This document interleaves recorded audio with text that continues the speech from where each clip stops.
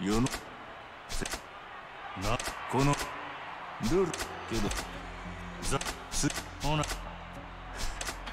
何めでじえ俺なあんせえ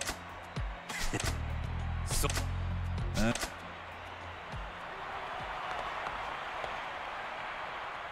ほんならお前がリングに上がるよう手続きしてきたる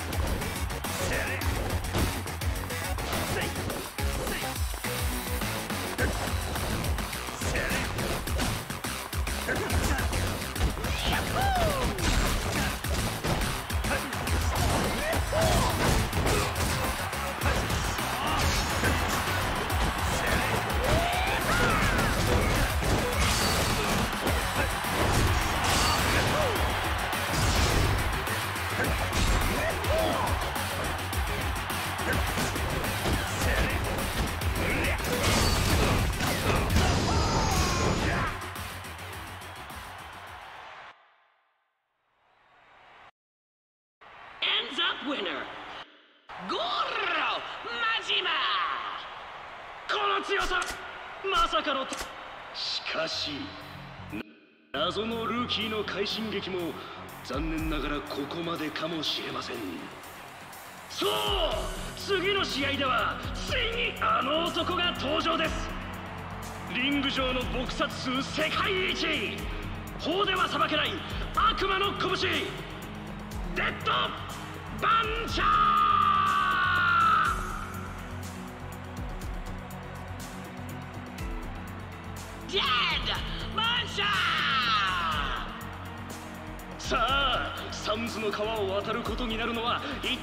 体どちらだ？時間無制限。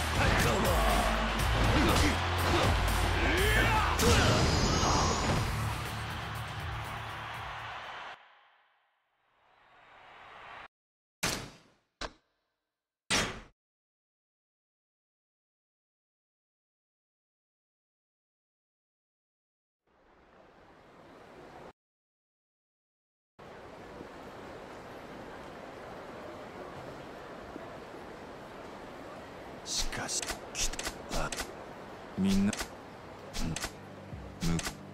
むがせうん一年なん犯人それ平せじゃじゃあにしにししとげだらこさあ行くで。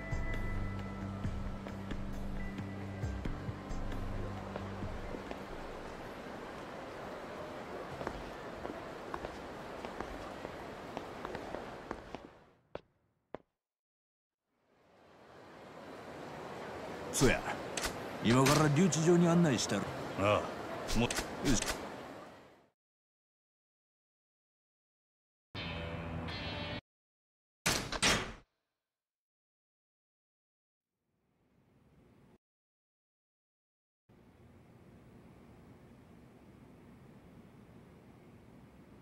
わしあこここやったらそないなもん持ち込めへんからにそ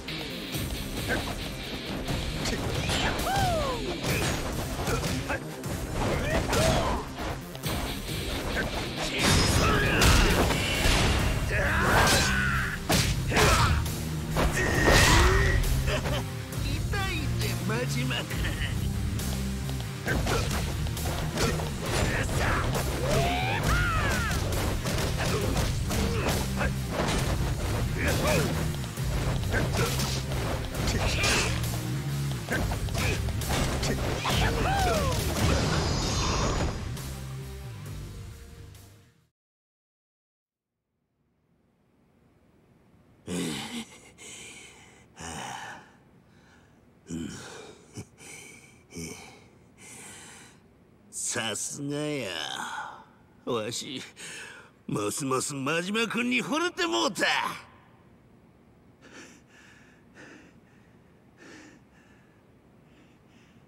あんたほんまにおもろいやつやな。ビリケンのおっさんが言うとったように出会いが違えばええ仲になっとったかもしれへんな。殴り合う理由を持って出会えたんや最高にええ出会い方やで。なんや急にまっとうなこと言いよって。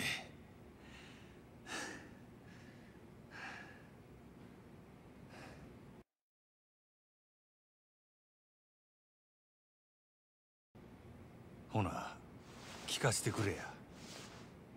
第三の勢力は何もんや。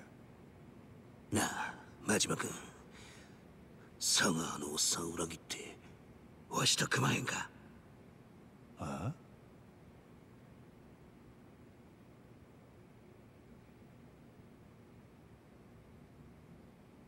誠ちゃんを狙う第三の勢力は日教連中集団や。日教連？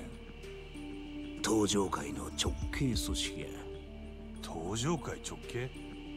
あほな日教連なんて聞いたことないで。そらそうや。表向きには登場界の大門を掲げとらん。裏の組織や。誠ちゃんをさらったんはおそらく日教連の総裁。世良勝や。世良勝？数日前に世良が日教連を引き連れてこっちに潜り込んだっちゅう情報が入ってな。もしや誠ちゃんを狙っとるんやないかと勘ぐってたとこやった。なんで登場界の勢力が二つも誠狙っとんの？二つ？俺に誠を殺すように命令出したんは島野の親父や。島野っちゅうと登場界の島野か。なあ世良も島野も登場界やほんなら登場界ついでや。わしも教えたる。あわしの雇い主は堂島組の渋沢っちゅう若頭補佐や。堂島組？せや。これまた登場界の直系や。世良の日教連お前に命令下した島の組。ほんで堂島組三つ全部登場界や。一体どういうことや？なんでやろなま登場界の内輪もめなんかわしには関係あらへんことやけどな。日教連が隠れてる場所は分かっとんのか？ちゃんと調べ上げとるで。どこや？知ってどないする気や。誠取り返しに行くに決まっとるよ無理や。あ？真島君が強いんはよう分かった。せやけど一人でどないかなるほど甘ないで日教連は。なんやと？登場界の大門掲げてはできへん汚い仕事をこなしとる特殊部隊や。さながらアメリカの CIA ソ連の KGB 言うたところやな。せやけどわしと真島君が組めば勝ち目がないわけやない。それにわしと組むっちゅうことは他にもええことがあんで。ない。佐川のおっさんからの命令は誠ちゃんを殺すことやろ。佐川と組んでる以上誠ちゃんを殺さなあかん局面にぶち当たんででもあしゃ殺しやなくて柄を押さえて依頼主に渡すよう言われとんねん。佐川裏切ってわしと組めばとりあえず誠ちゃんを殺すはめにはならんやろ。悪いな。断るわ。なんでや。日教連の世良も誠を殺すようには見えへんかった。もし俺の目的が誠を殺さんことやったとしたらそのままおとなしく日教連に預けとくせやけど誠はもう十分すぎるほど裏社会の食い物にされてきた。両目まで見えへんようになってな。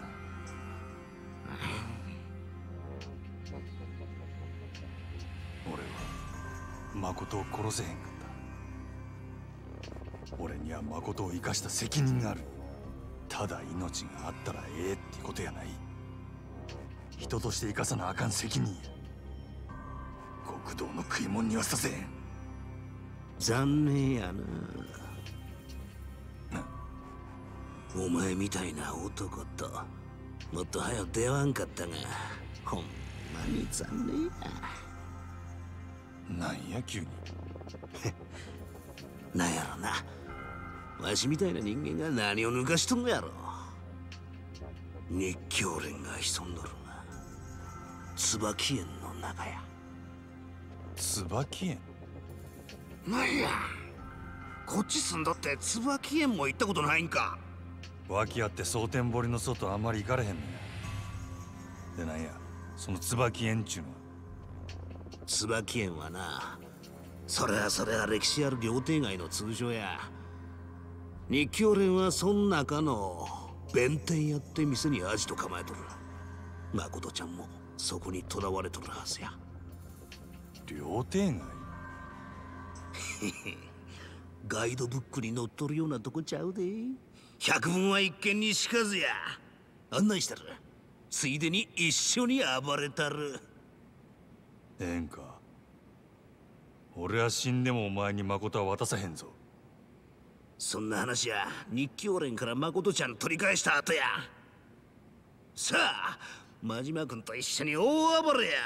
楽しなるで。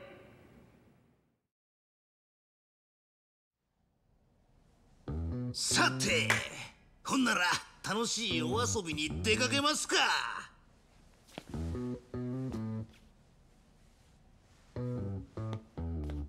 いおまるさん。出して。チェックアウトや。真島君も一緒に出るで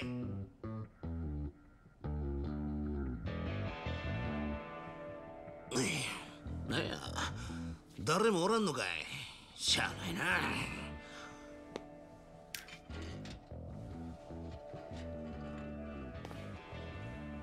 勝手に出るで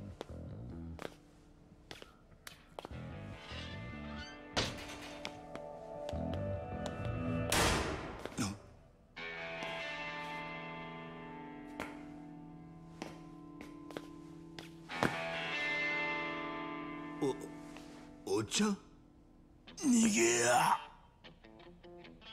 西谷。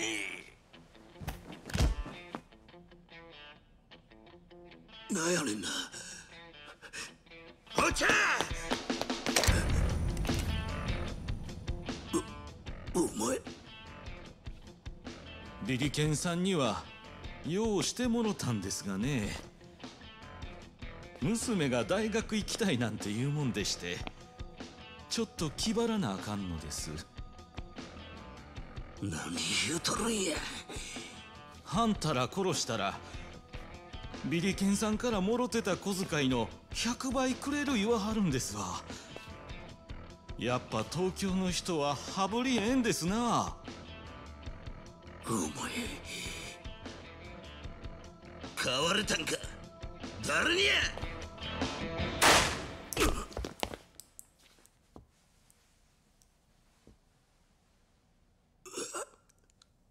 こらあかん感じやないか。い。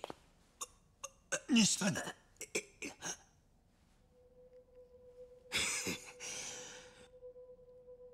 昔おっちゃんに言われた通りや。悪いことばっかりしてたら罰やたん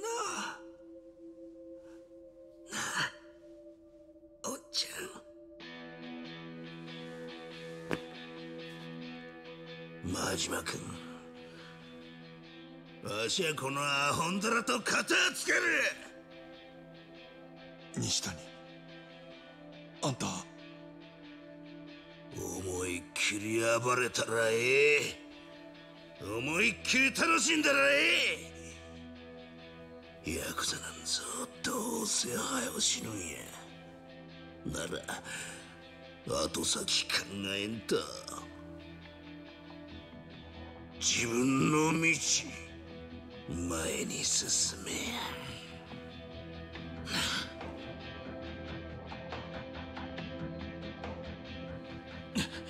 何言うとるんや。さっさとくたばらんかい。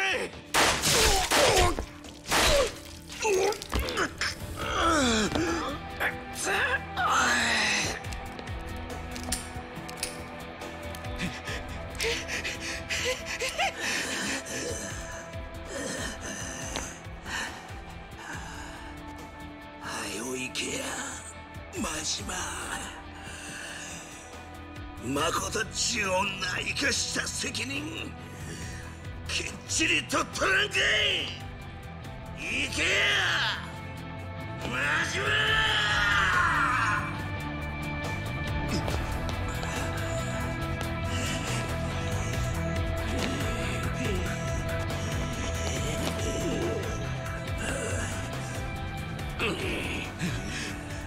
してくれ。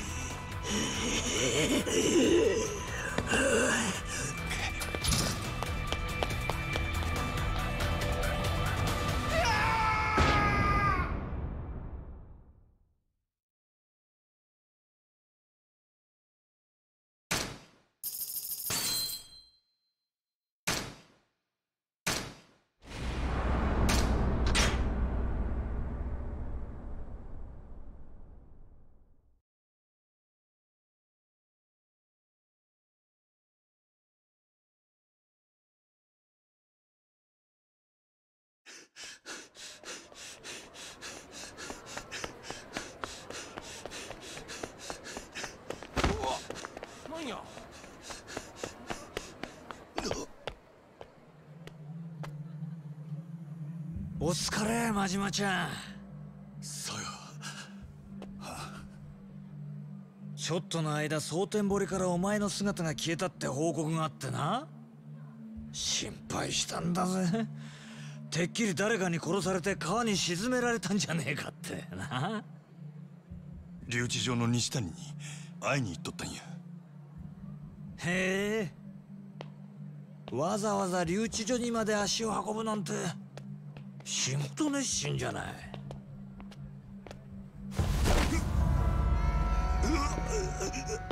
蒼天堀はお前の庭じゃねえんだよ。檻なんだよ檻。ホテルでさえ出かける時にはフロントに一声かかるよな。檻ん中のお前が何黙って出てんだよ。なあなあ。でよそんなに急いでどこ行くつもりだったんだ？もちろんあんたに報告しに来とくや。だよな。よかった。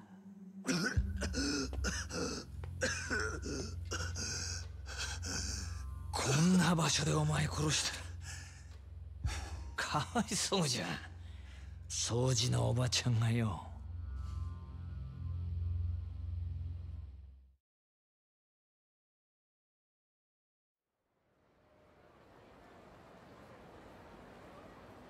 で西谷に会ったってことは聞き出せたんだよな。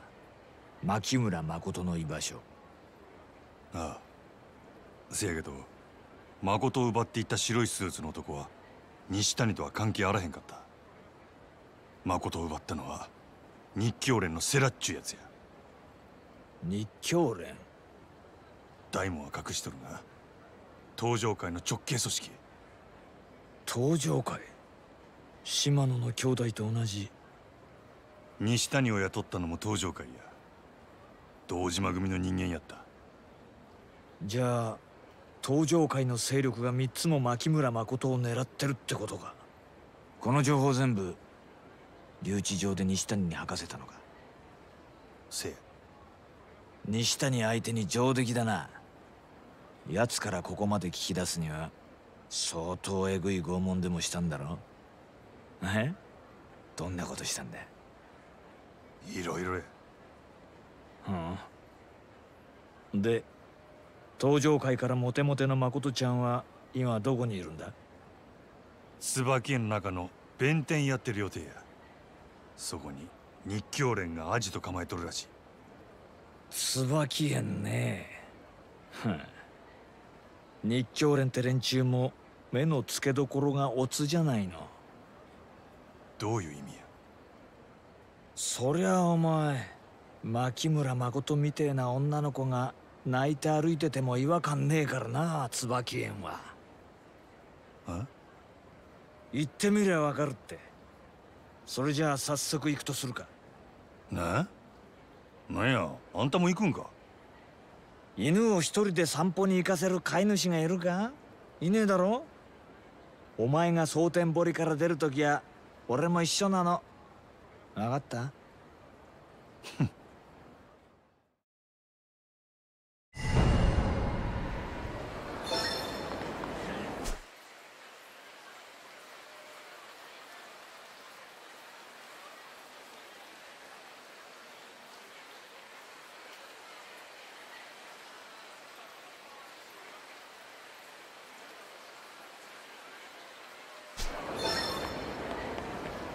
おいお前聞いてんのか？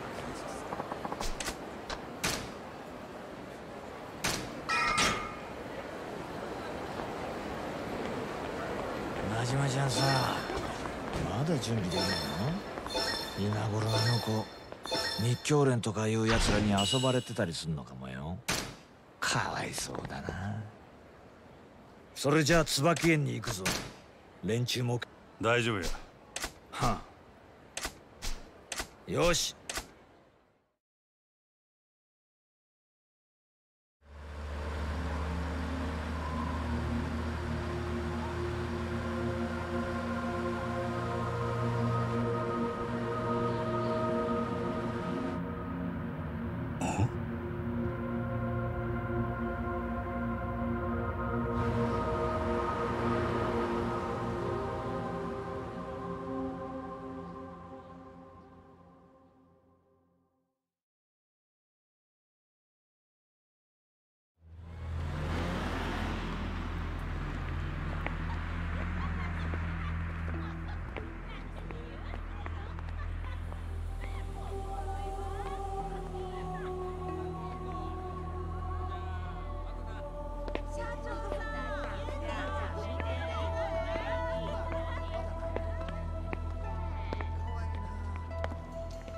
ちゃん兄ちゃんよってって。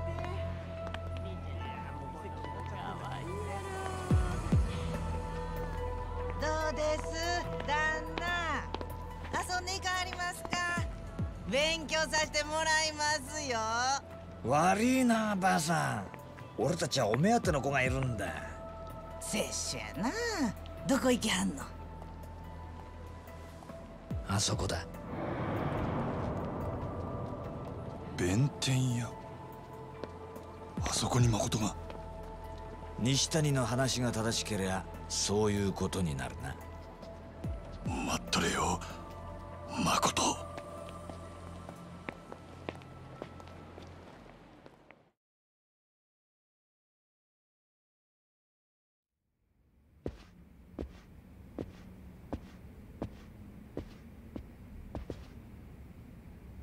どっちから行く？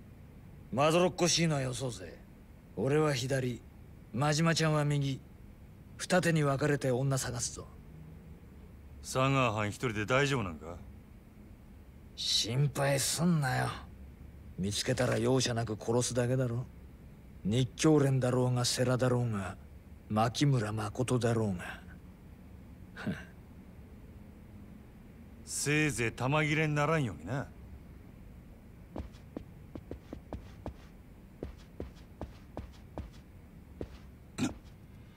真島五郎さんですね。せやったらなんやねん。世良の親父はあなたを殺さずに事を収めたいと思っています。登場界の情けをかけられてるうちにこの件から身を引いてください。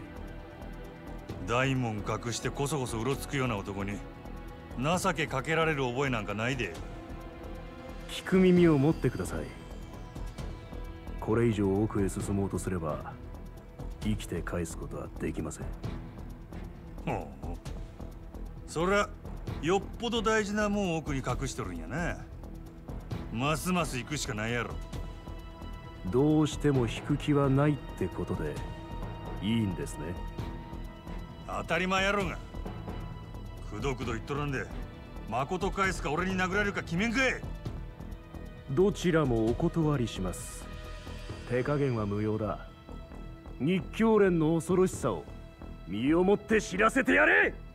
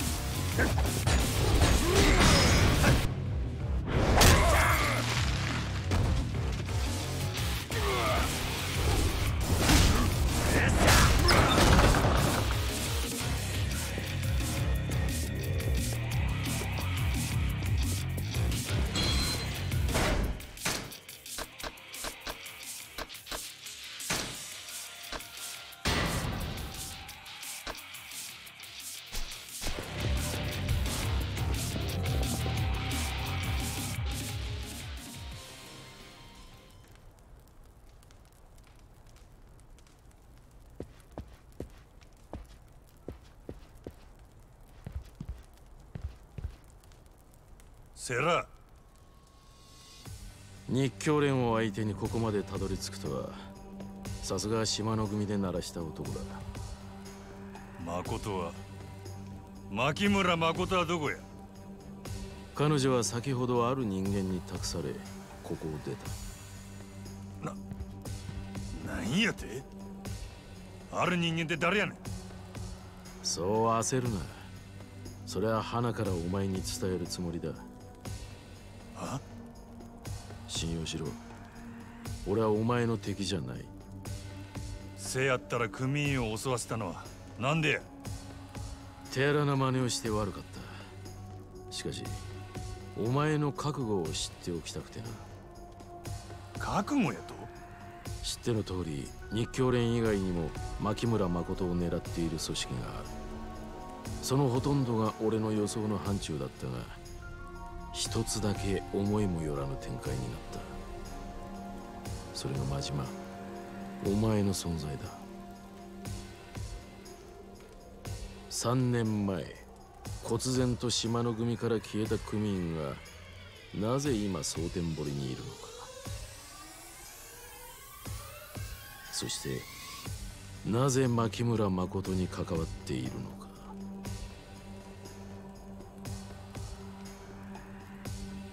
近江連合の佐川に弱みを握られてお前が動いたことは想像がついた。だがここからがわからない。なぜ佐川を裏切って牧村誠を助けようとしたのか。彼女の価値を知ってそれを独占しようとしたのか。俺は誠の価値なんか。そう。お前は知らない。じゃあなぜ危険を冒してまでここにたどり着いた？あの女に惚れたってことかまさかお前が俺の何を知っとんねん。俺が人助けたらあかんのか。そう閣下するな。なんであれ彼女を助けたい一心なのは分かった。お前の気持ちを踏みにじる気はない。だが今は登場界の未来を左右する重要な事態だすでに多くの血も流れてる。もしも生半可なヒーロー気取りで首を突っ込んでるなら受け入れがたい。お前の覚悟を知っておく必要があってな。随分物騒なやり方やので確かめた結果はどないやねん。俺は慎重派でね。結論を出すにはやはり自分の手で確かめないと気が済まないんだ真島もしも命を懸けて牧村誠を守る覚悟があるなら俺を倒してみろ。そしたら誠の行方を教えてくれるんやな。ああ二言はない。あんたのやり方に従うんは尺やが。俺も手っ取り早いんは言葉より拳や。ええやろ。やったるわお前の覚悟を見せてもら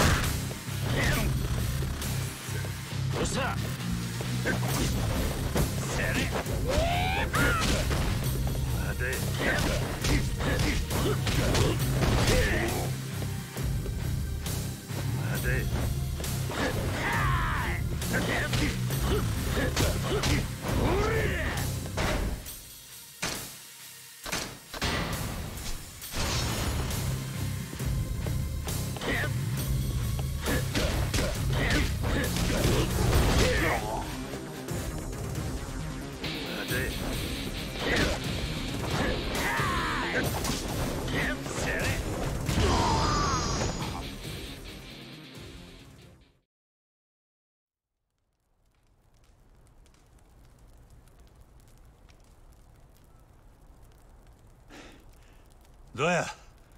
満足。かああ。お前の牧村誠への覚悟痛いほど伝わった。ほなさっさと言えや。誠は誰の手に渡ったんや。不動産会社の人間だ。不動産会社？なんで不動産屋が？本人も知らないところで牧村誠は土地の所有者になっていたんだ。その一坪で10億と言われる空の一坪のな。一坪10億？そんな土地どこにあるんや？お前のよく知った町だ。室町？誠はカムロ町に連れてかれたんか？ああ。今殻の一坪を誰が手に入れるかで登場界が大きく揺れている。土地の10億なんてのは目先の金に過ぎない。殻の一坪はカムロ町の再開発に絡んで莫大な金と権力をもたらす鍵なんだ。それで極道が非力な女から力ずくで土地取り上げようとしてるっちゅうことがちょっと留守にしとる間に登場会も落ちたもんやな。信用してくれ。俺は決して彼女に危害を加えていない。お前がそうやったとしても他の連中が誠を奪いに来るやろ。現に車ごと爆破される寸前やったんやで。せやのに不動産屋に渡してやと。誠を奪ってくれ言うてるようなもんやないか。普通の不動産屋とはわけが違う彼らの手に守られているうちは安全だ。不動産屋ごときに誠が守れるわけないやろうが。その不動産屋の名前と行き先を教えんかい。教えてどうする？カムロ町へ行くに決まっとるやろ。それがますます彼女の命を危険にさらすことになるとしてもか。どういうことや？カムロ町に向かうのはお前一人じゃ済まないだろう。佐川か奴は必ず牧村誠を殺そうとするだろう。お前がカムロ町に来るということは危険を持ち込むことになるんだ。本当に彼女を思うなら蒼天堀にとどまり佐川を食い止めることが最良なんじゃないのか？不動産屋が絶対に誠を守れる保証はあんのか？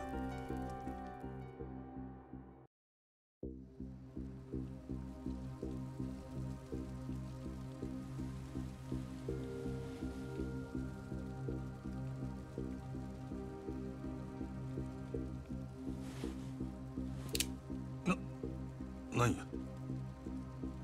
もしも俺を信用できないんならその銃で俺を撃ち殺せ。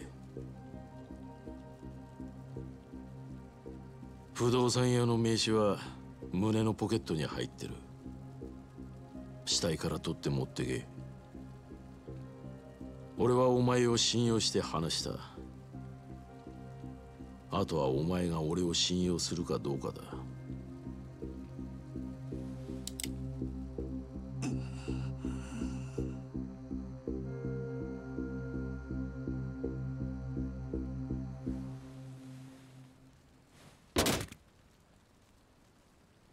カムロ町で誠にかすり傷一つ負わせたら承知せえへんぞ。命がけで守る。お前は蒼天堀にとどまり佐川を。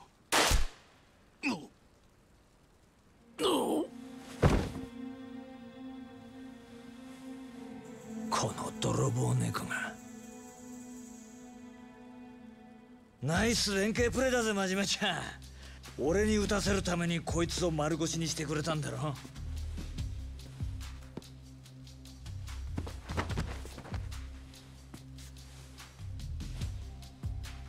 こいつか。牧村誠を託された不動産屋って。ほら喜べよ。知りたかったんだろ？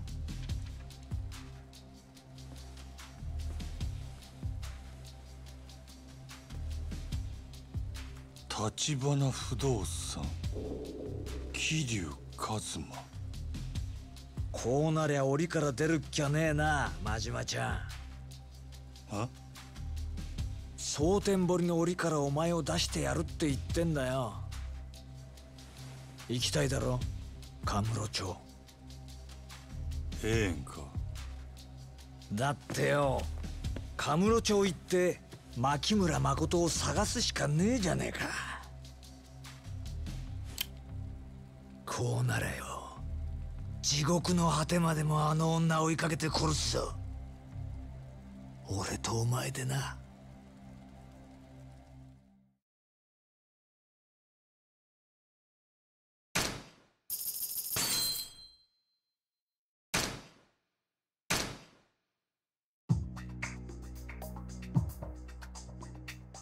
堂島組幹部阿波野の包囲網はついに桐生をカムロ町に追い詰めるが橘の決死の覚悟が堂島組の一瞬の隙をついた。やがて空の一坪をめぐる熾烈な争奪戦はついに東日本の裏社会を牛耳る東上会本家をも巻き込んでいく。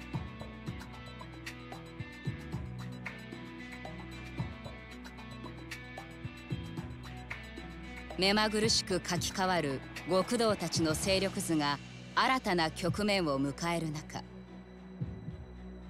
桐生は事件の鍵となる空の一坪の所有者の名を明かされた。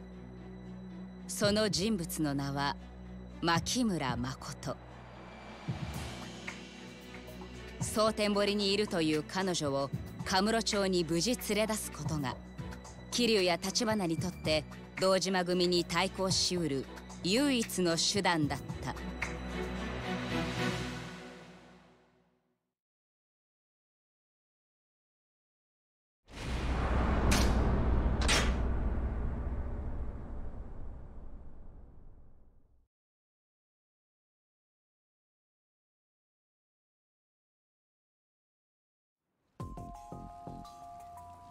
こいつか。牧村誠を託された不動産屋ってほら喜べよ。知りたかったんだろ？橘不動産。桐生一馬。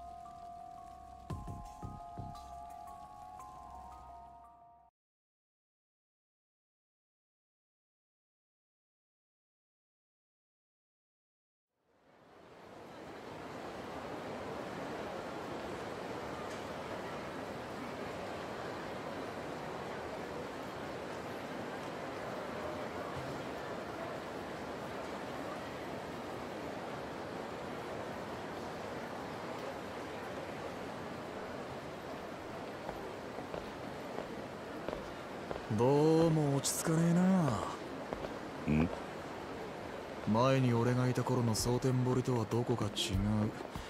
似て非なるものって感じか。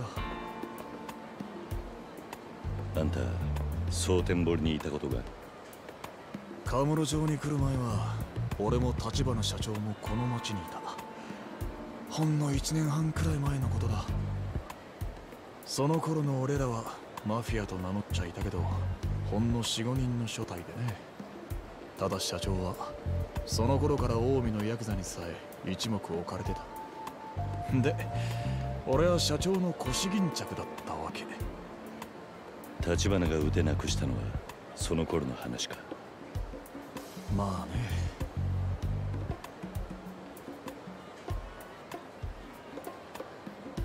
当時組んでたやつが今笑福町にしてちょっといかがわしいビデオショップやっててな。キャルって名前の店だお前先に一人でそこに行っててくれるか？話は全部通ってる。俺はその前にちょっと寄るとこがあるんでね。寄るとこ？この町の今の様子を知っておきたい。蒼天堀で動いてたうちの人間と情報交換してくる。渋沢組と近江連合の動きも少しはわかるかもな。そうか。お前にはビデオ屋でセラって男からの電話を受けてほしいんだそいつが今例の牧村誠をかくまっててね。電話で彼女を引き渡す段取りを伝えてくるセラってのも橘不動産のもんか。いや東上界の人間だ。日教連って組織のな。日教連。聞いたことね俺もよくは知らねえがそのセラって男は風間の親分さんと通じているらしい。うちの社長が掴んだ情報をもとに蒼天堀で牧村誠の行方を探してたんだ。なるほどな。で要するにあんたが街をぶらついてる間俺は電話番ってわけか。そういうこと。じゃまた後でな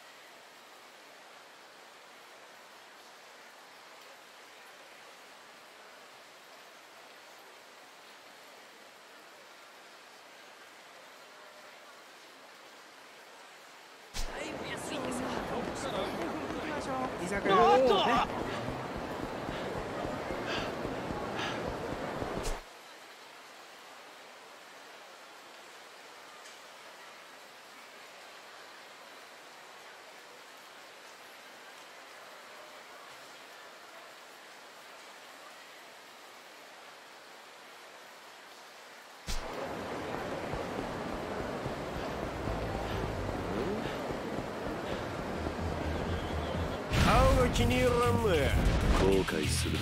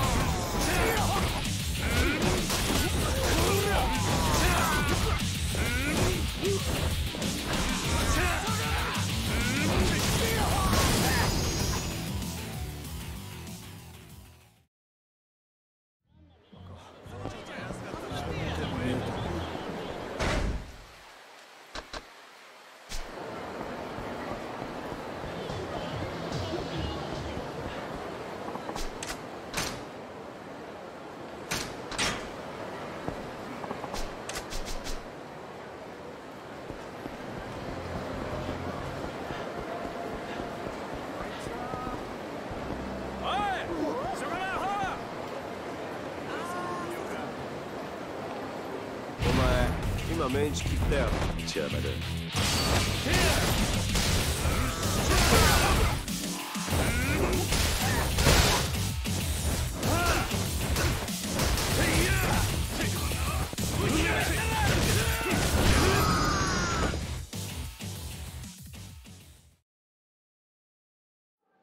遊ぶ金欲せえって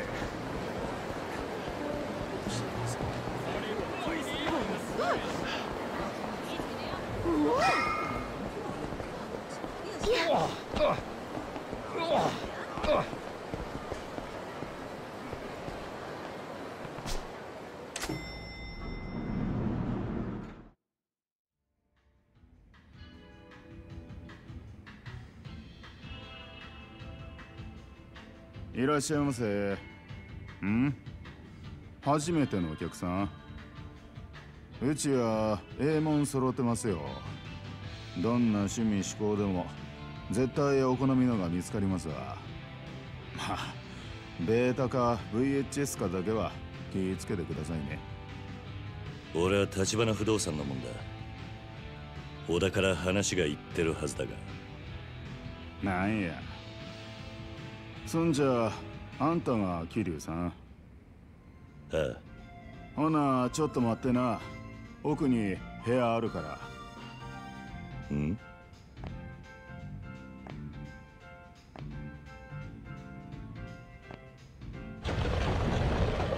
特別なお客にはここ。中に電話もあるで。セラいう人からの電話がそこにかかってくる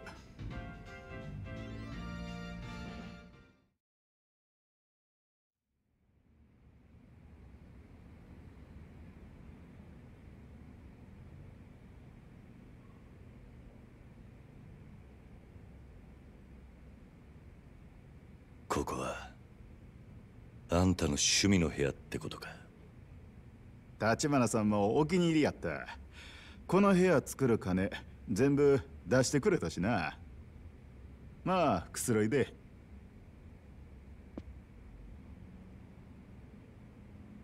ほんで立花さん元気しとる？ああまあな。人工透析でしんどいんやろ？蒼天堀いる頃はまだ透析やってなかったんやけどね。あんた橘とは長いのか？どっちか言うと小田さんとの方が長いな。僕は小田さんともう二人くらいでケチなグレンタイやっとった。そこに2年前一匹狼やった立花さんが現れたんや。きっかけは肩がぶつかったとかしょうもないいざこざやったと思う。せやけどたった一人の立花さんに僕らまるでかなわんかった。喧嘩で負けたことない小田さんかて子供扱いやったで。今の立花からは想像つかねえな。まだあの人が片腕なくす前の話や。せやけど立花さんにボコボコにされて意外やったのは小田さんの反応やった。ん？立花さんの器量にぞっこん惚れ込んでしまいに自分たちの頭になってくれってな。まあ貫禄の差や。立花さんは生い立ちからして普通とちゃうしね。何のことだ？聞いてない？立花さんは中国残留孤児の2世やで中国残留孤児。立花さんのお母さんは日本人やった。中国で生まれてすぐまだ赤ん坊の頃に戦争の大混乱で親と離れ離れになって旧満州に取り残されてな。中国人農家に拾われて年頃になるとそこの子供と結婚させられたらしい。立花さんはその間に生まれたんや。立花さん日本人の子や言うて周りからえらいいじめられたそうや。戦争のことで中国人はみんな日本も恨んどる。日本人言うだけでいつ殺されてもおかしない雰囲気やった。けどその土地のマフィアだけは立花さんを理不尽な目に遭わさんかった。連中もほとんどが金なかったり家柄悪かったりの鼻つまみやからな。で立花さんも自然とガキン頃からマフィアに馴染んでったそうや。僕らとじゃ年季がちゃう。小田さんなんて年は自分の方が上やのに立花さんのことは兄貴や呼んどった。小田。よう店はほったらかしか。客が困ってたぞあれほんま？ほなごめんな。ごゆっくり。あいつ話長かったろ。ああ。あんたらの話を聞かされてた。もしかして俺が社長に惚れ込んでたとかって話か？話半分に聞いとけよ。それよりあんたの方は案外戻りが早かったなああ。でも面白い話が聞けたよ。何日か前牧村誠の死体ってのが蒼天堀に浮かんだらしい。何？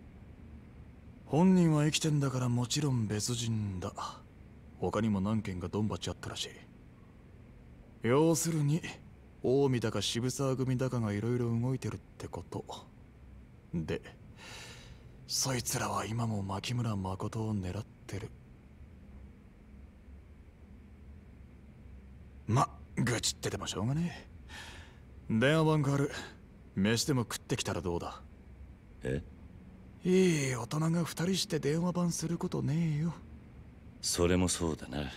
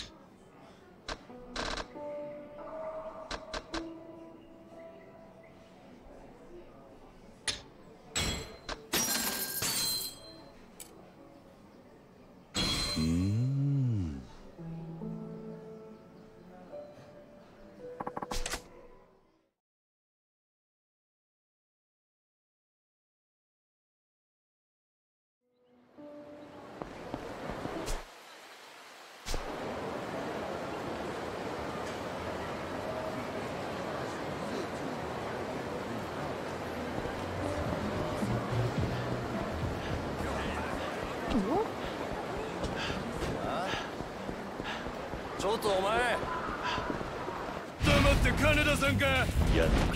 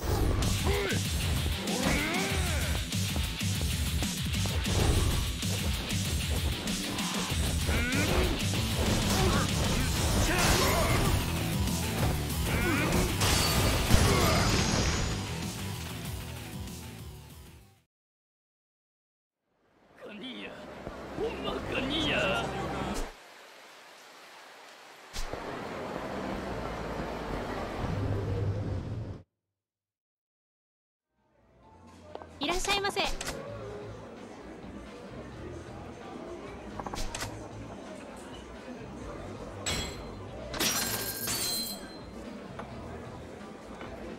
狂ったな。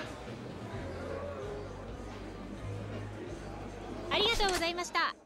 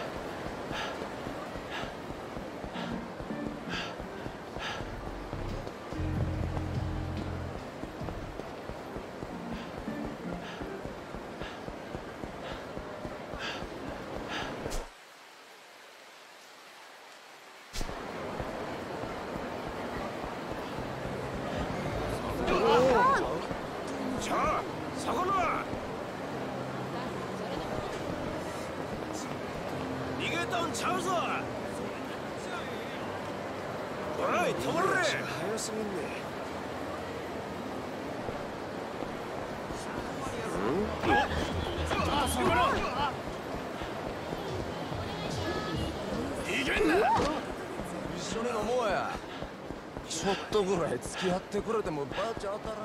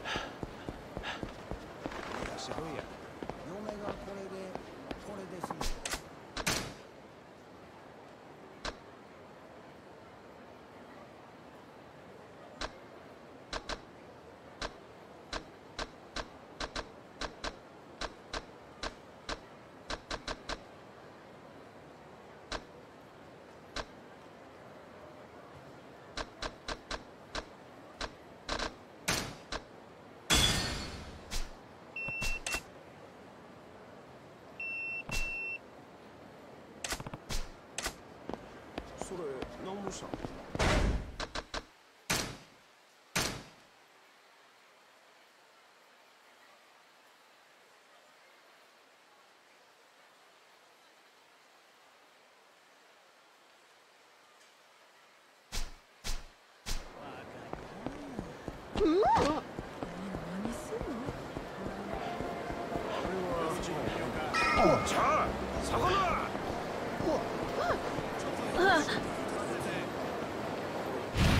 すぞ後悔するな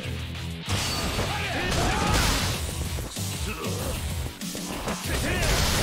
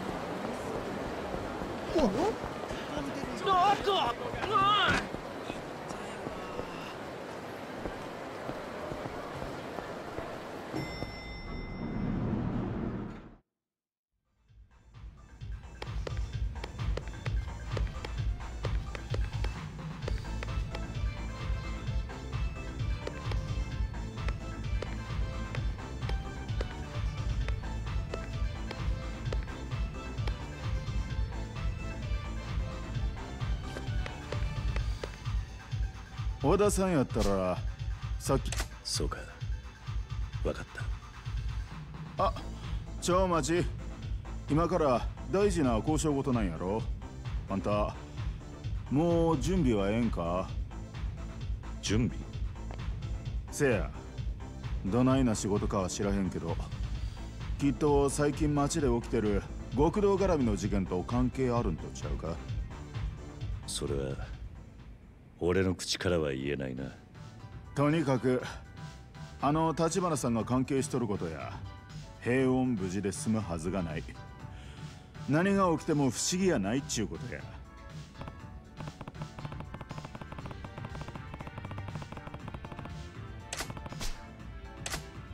なるほど。それはそうかもしれないな。せやろ。ほな悪いことは言わん準備は今のうちにしっかりしときや。大丈夫だ。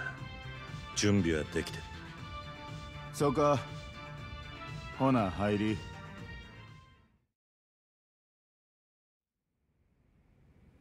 来たな桐生。ああ。それから電話があったんだな。そういうこと。牧村誠の引き渡しは椿園の弁天屋って料亭でやることになった。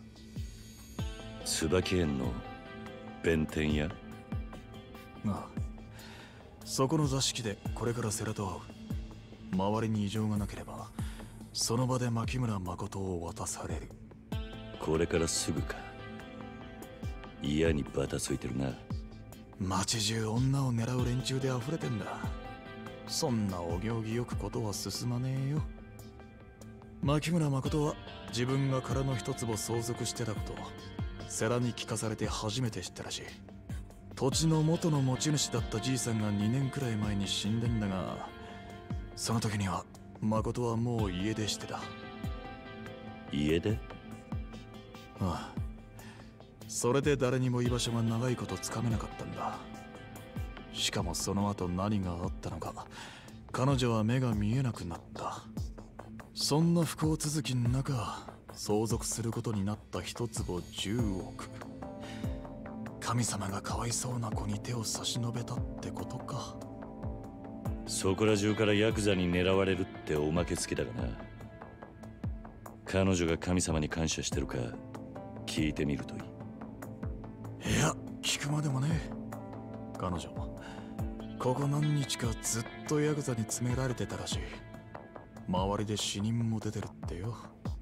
何にしても土地に執着もねえしさっさと手放したいそうだ。そうか。よしそれじゃいいか。女連れ出す段取りはこうだ。まずお前が弁天屋の中で女を受け取る。俺はその間外で店に出入りする客のチェックだ。で弁天屋を出たらまず京都まで行くそこから先は新幹線だ。新大阪から乗るのは危ねえってことか。一応の用心だ。近くの駅は渋沢や近江の連中に見張られてる可能性がある。ああ。なあ桐生君。お前はこの時のために橘不動産に入ったようなもんだ。いよいよしっかり働いてもらうぜ。何が起きても牧村誠を守りきれ。殻の一坪さえ手に入りゃ風間の親分さんを守る道も見える。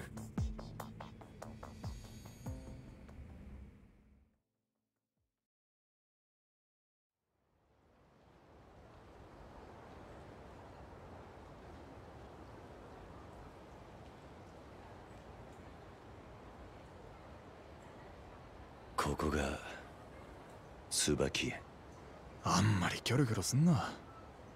いいか。俺はここで怪しい奴が店に入ってこねえか見てる。分かってる。また後でな。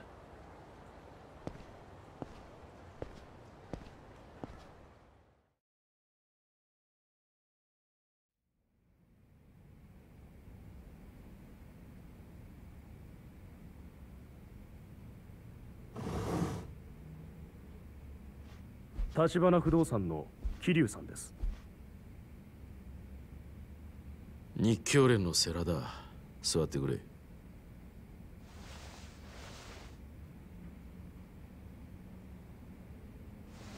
橘不動産の桐生です。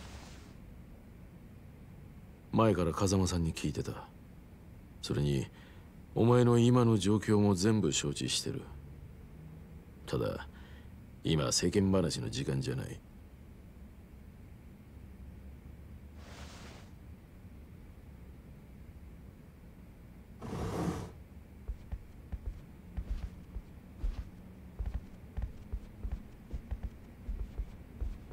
こちらが牧村さんだ。橘不動産の桐生です。牧村です。お世話になります。もう一人小田という者と私でカムロ町までご一緒します。護衛ってことですよね。ええ。私は祖父が死んだことも今まで知らなかったんです。祖父の聞いたこともない土地のせいでこんなことに巻き込まれて。お察しします。この間私を守ってくれた人も殺されました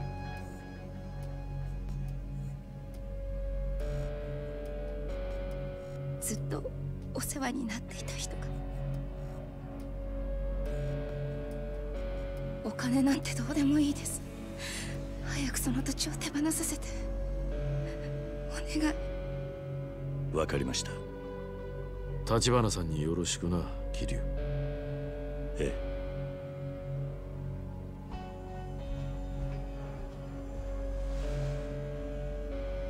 失礼します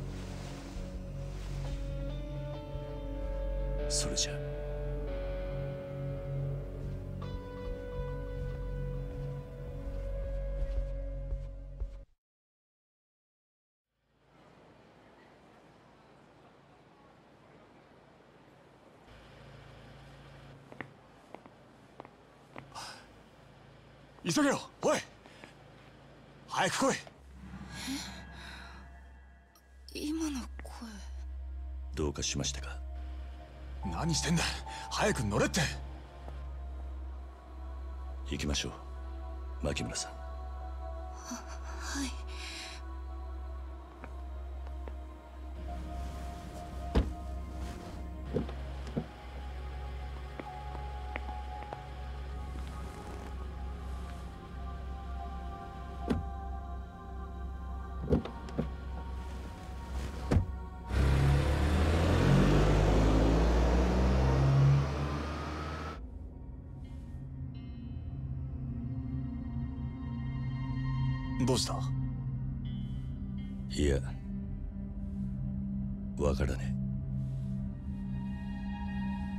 し遅れました。桐生の同僚で踊っています。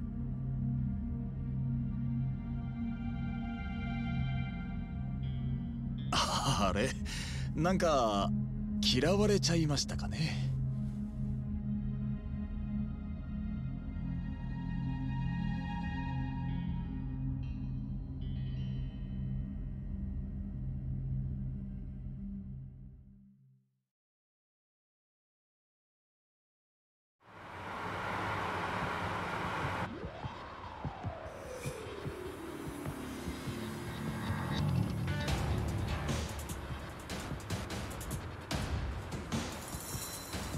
桐生右車線。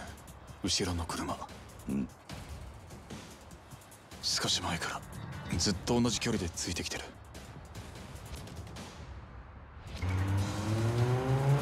スピード上げてきた。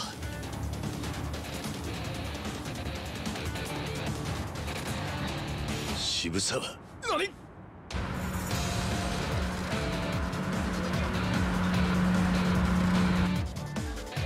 そ気づかれてた。おい飛ばせはい。何が起きてるの？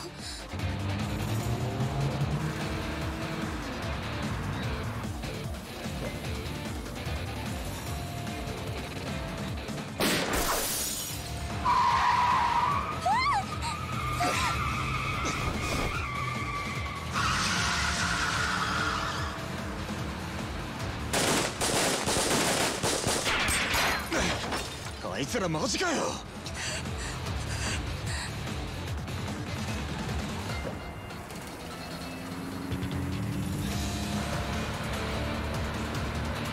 キルこれす。ぐお前なんでこんなもん？言ってる場合じゃねえだろ。さっさと撃ちまくれ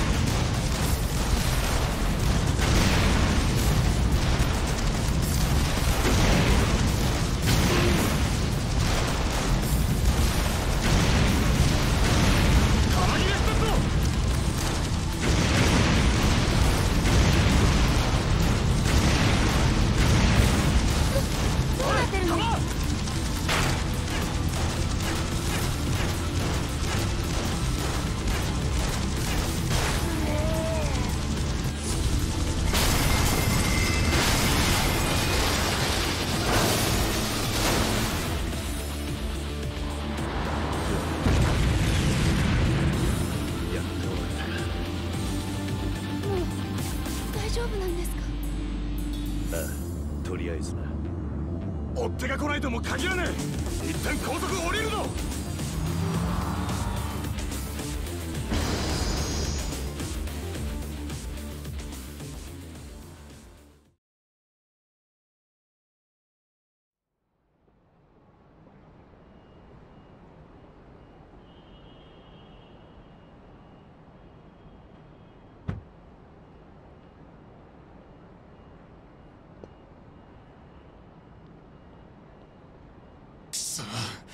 しばらくここに隠れる。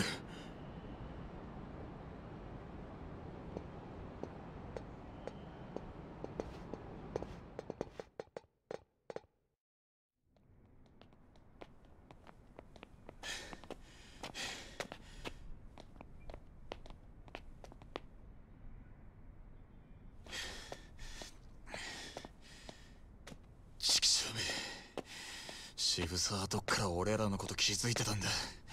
落ち着け小田。彼女が不安がる。うるせえそれが何だ？私は大丈夫です。こっちは大丈夫じゃねえんだよ！何やってんだお前。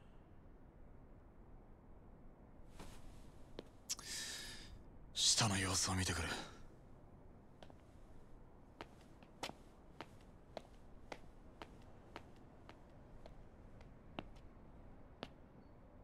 悪かった。あんた怪我してないか？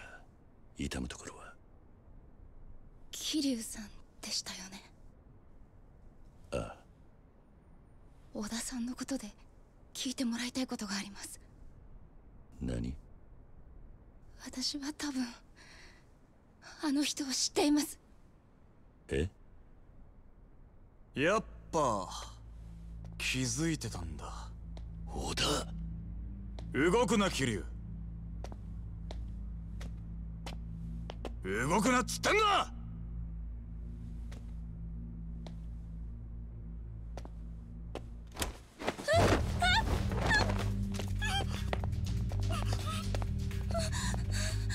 何してんだお前。悪いけど俺はこの女を立花社長に合わせるわけにはいかねえんだ。なんだと？だからお前らには死んでもらうしかねえ。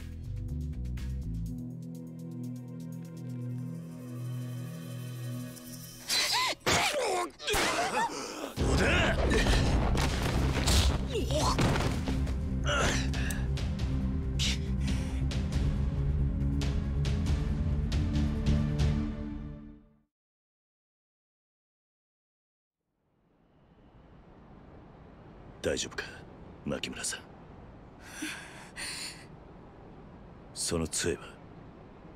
世良さんから万一のご信用にって。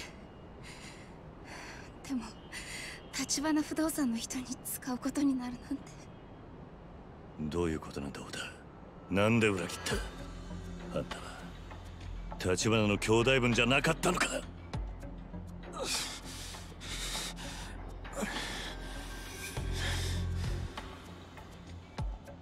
桐生さん。その人の左腕入れ墨が入ってませんか？コウモリの。小田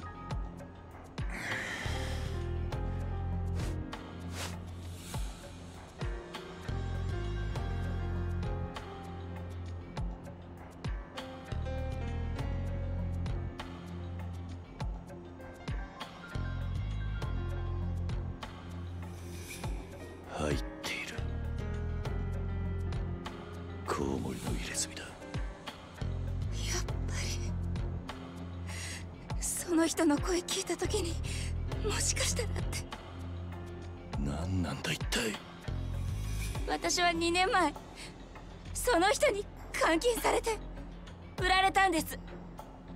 何？どういうことだ？言葉通りの意味だ。その女にしてみりゃ俺は殺しても殺したりねえってやつだろうさだから俺ら二人とも殺すってのか？立花と彼女を会わせられねえってのは何だ？意味がわからねえよ小田どういうことなんだ？一から説明しろ。小田分かったよ。話す。この入れ墨は俺が頭張ってたグレン隊のメンバーの証だ。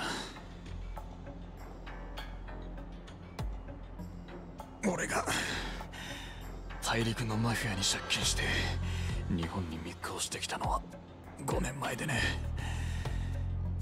それ以来この町で金になることなら何でもしてた盗みもやったし叩きもやった。女騙して売り飛ばしたのも一度や二度じゃない。その女もたまたまそのうちの一人だっただけだ。それが立花とどう関わってる？俺が立花さんと出会ったのはそれからほんの少し後のことだった。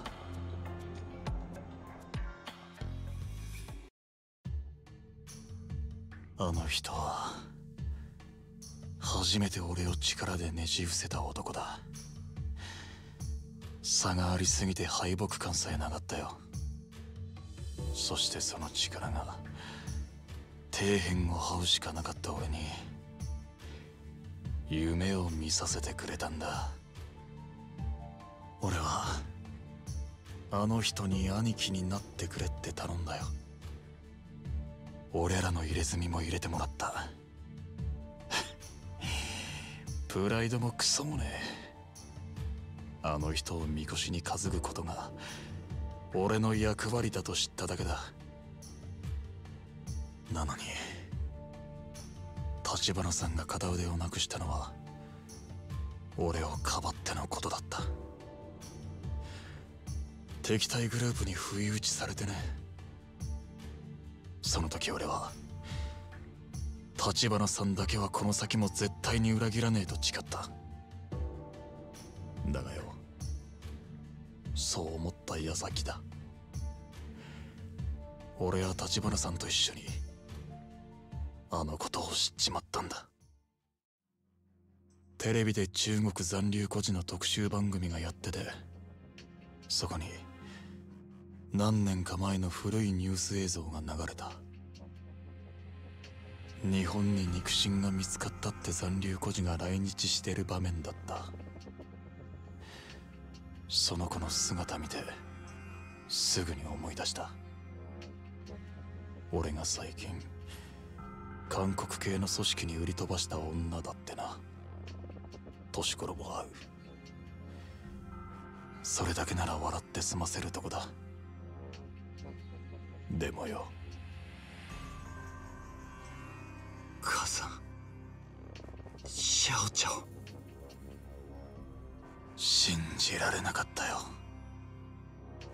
俺が何の気なしに地獄に突き落とした女は俺が心底尽くそうと思った兄貴の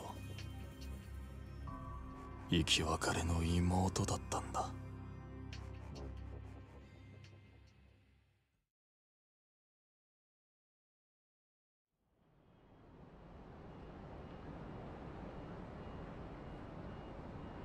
牧村誠か立花の妹ほん本当なんですか？その話。この子に及んで嘘はつかねえさ。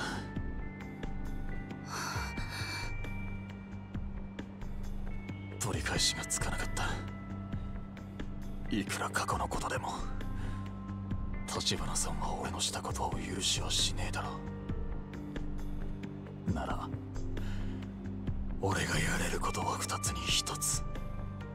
破滅を覚悟で社長にあんたを会わせるか。もう一つ。あんたの存在をなかったことにするか。それが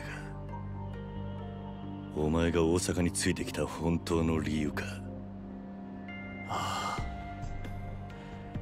俺の他に誰も俺がその女を殺す動機を知らない。渋沢組か近江連合に殺されたといや俺が疑われることはね。けど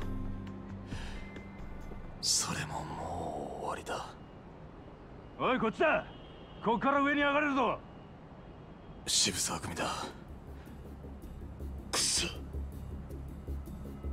小田さん立てますか？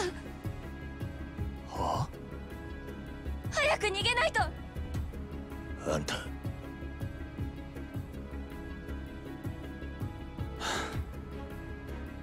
まだ俺と一緒に逃げる気か？ったくどこまでおめでたいんだよ。桐生銃くれねえか？俺が奴らを足止めする何？俺はこの怪我だ。どうせ死ぬなら立花さんの役に立って死にて。王だ。虫のいい話だけどさ。あの人に俺がそう言ってたって伝えてくれね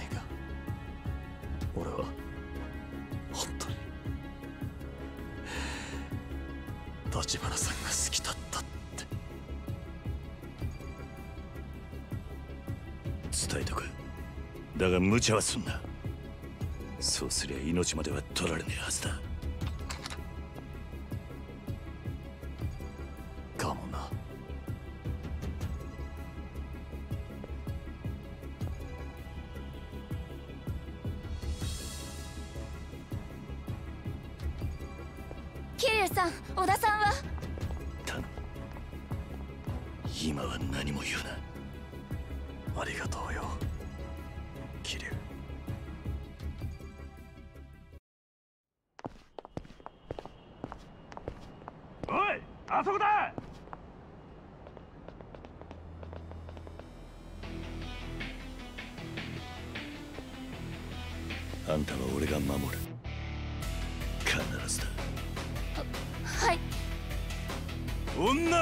桐生。どうせてめえはここで終わりだ！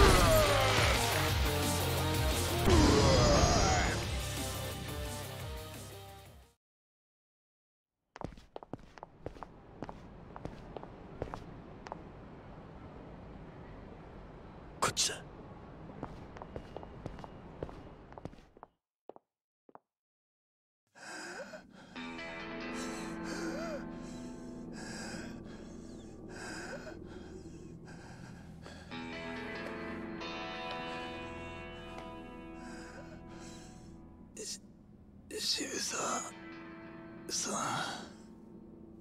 ん。女どこだ。わかりませんよ。もう。立花を裏切って俺についたんじゃなかったのか。なんですぐ俺に女を落とさなかった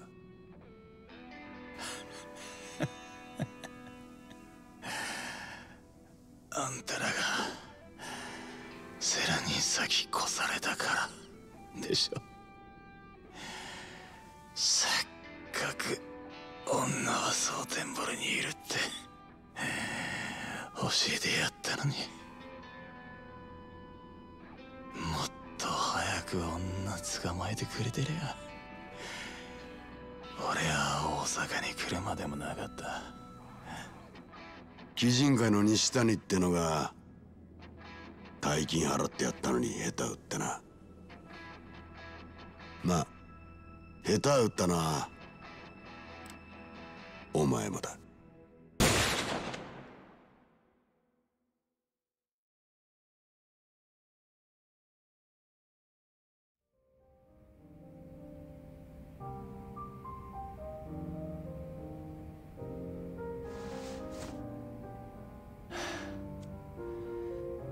しねえから安心してくれ。目立たねえとこに泊まりたかっただけだ。分かってます。兄は今どんな人ですか？普段はえらく冷静な感じだ。それに頭が切れてめったに感情を出さない。そう。私の知ってる兄とはだいぶ違うみたいあんたはいつからあいつに会ってないんだ？10年前。私は10歳で兄もまだ15だった。なのに兄さんは私と母さんを捨てて日本に大阪に行くつもりとまでは聞いてた。そっか。だからあんたは蒼天堀にいたのか。立花を探すために。2年前東京から家出して蒼天堀で私中国人を見たら兄を知りませんかって聞いて回ったの。でもその中にコウモリの入れ墨の男が。小高あの人は私の探している兄に心当たりがあると言ってた。それでついていっちゃったの。けどさっきのあの人の話だとあの時兄を知っていると言ってたのは嘘だった。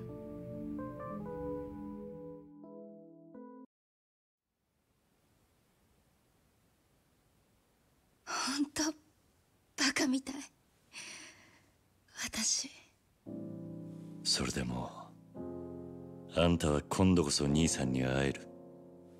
カムロ町でな。兄がどんな風に変わってしまったのか少し怖い。私の知っている兄は強い人じゃなかった。中国にいる時私も兄も日本人の子だっていじめられてた。映画館で暗くなるとね周りの席からみんなが唾かけてくるの。上映中ずっと。私も兄も怖くて動けなかった。兄は自分の身を守るためにマフィアになるしかなかったんだと思う。そして中国を出たの。私の方はそれから何年かして日本に祖父がいると分かった。母は堂々と中国から出られるってすごく喜んでた。私も同じ。ただ日本の祖父が優しく迎えてくれたのは最初だけ。え？だって家族なのに全然言葉が通じないんだもんだから私は中国語を忘れるくらい日本語勉強して祖父にも日本にも馴染もうとした。でも母は日本語を覚えられないまま自殺しちゃった。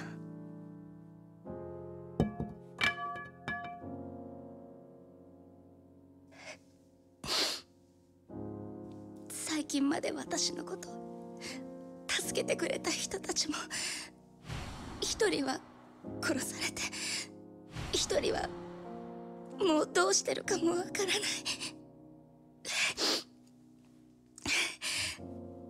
私の人生ひどいよね。なんか。ああひどいな。長いこと暗い道を歩いているとこの先もずっと暗いもんだと思っちまう。前に進むことが嫌になる。自分の道がこの先どうなってるか分かってるやつなんてこの世に一人もいねえ。俺らにできるのは立ち止まって泣くか。一歩でも前に進むかの二つだけだ。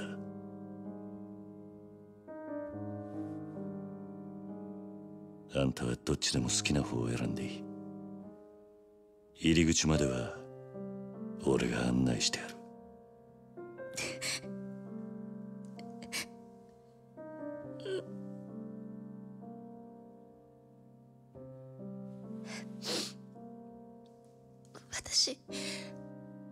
幌町に行きます。兄に絶対に会いたいんです。だから私を連れてってください。桐生さん。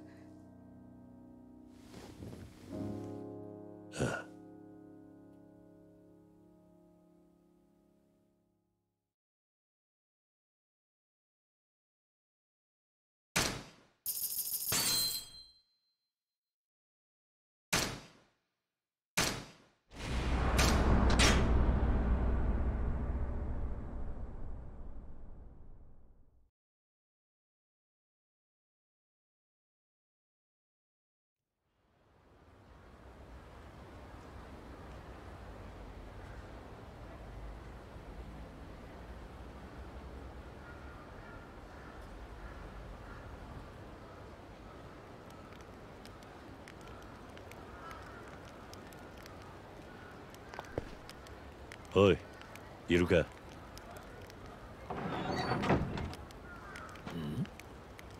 おおなんだ桐生さん。あんたまだ生きてたなお？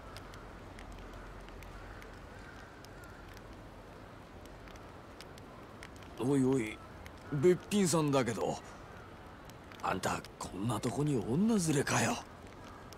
悪いが他に行くとこがねまた少しの間かくまってくれ。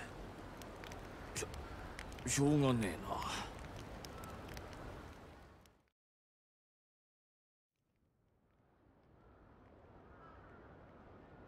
あの本当にむさ苦しいところですが特に匂いとか。大丈夫です。すみません。いや謝ることはないけどさなあ桐生さん。やっぱりこんなとこに若い子を置いとくってのはちょっとな。分かってる。私の兄が迎えに来るまでお願いします。お兄さん？ああただ電話しても繋がらねえんだ。だから俺が直接そいつのところに行ってくる。それまでの間彼女を頼む。お兄さんってどこにいるんだよ？アジア外にいるはずだ。なんだ？カムロ町の中か。何日も預からなきゃいけないのかと思った。でもアジア外ならこの子を連れて一緒に行けばいいじゃない。堂島組に狙われてる。今は俺じゃなくて彼女の方がだ。安全か分からないうちはアジア外にも連れて行けね堂島組に狙われてるってこの子が。なんで？えあんたは知らねえ方がいい。そっか。まああんたにはホームレス狩りから助けられた義理もある。分かったよ。引き受けた